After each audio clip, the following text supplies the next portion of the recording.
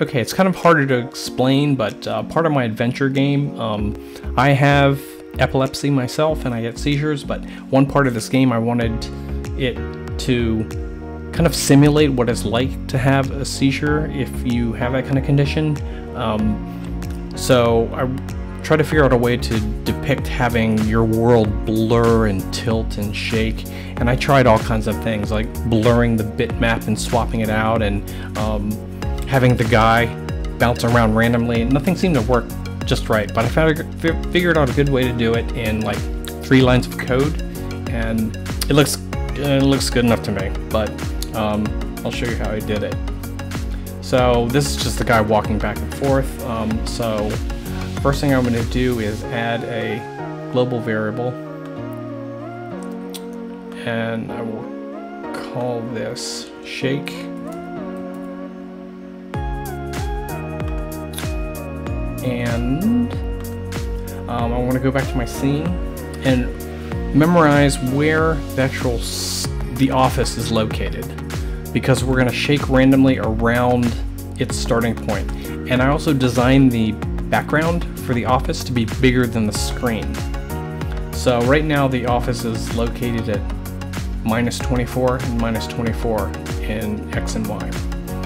So now we need to randomize its position. So we're gonna first add an event. Um, the shaking can increase based on time, however your game's gonna work, um, whatever you're gonna use it for. But just for this example, we're gonna um, iterate it with a key just to show what the effect looks like. So I'm gonna search on key, when key is released.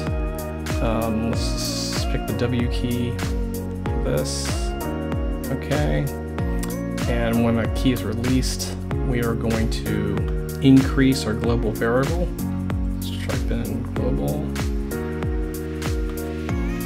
value of global variable and we're gonna it already found shake so we're gonna be adding to the value of shake which is defaulting to zero.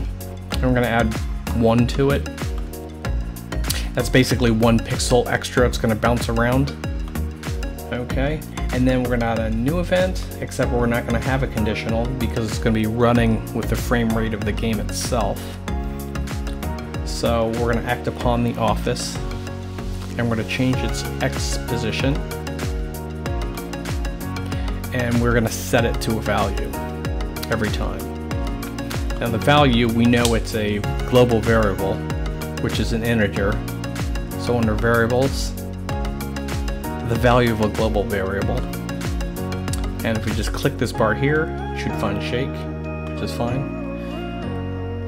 But we want to take the value of global, the global value, variable value of shake, and we want to randomize that value. So you just can't act upon this statement. You have to wrap it in another set of parentheses. Okay, now we can do the random function. Most functions require a separate set. And also, this is going to give us a value of a random value of what our shake is. And then we know the image is starting at position negative 24. So every time we hit the Y, the W key, this number goes up. And we're gonna do the exact same for the Y position. Copy this, paste it. And we're setting the Y position. Hello. Okay, there. And that is pretty much it. That's all you need. So the guy's walking along. Now I'm gonna hit the W key I don't know if you can see that, but that is shaking randomly X and Y one pixel. So things are starting to look fuzzy for this guy. And actually debugging this, I almost did have a seizure. I'm hitting it twice. It's getting worse. So that's bouncing around four pixels. And it kind of adds the disorientation.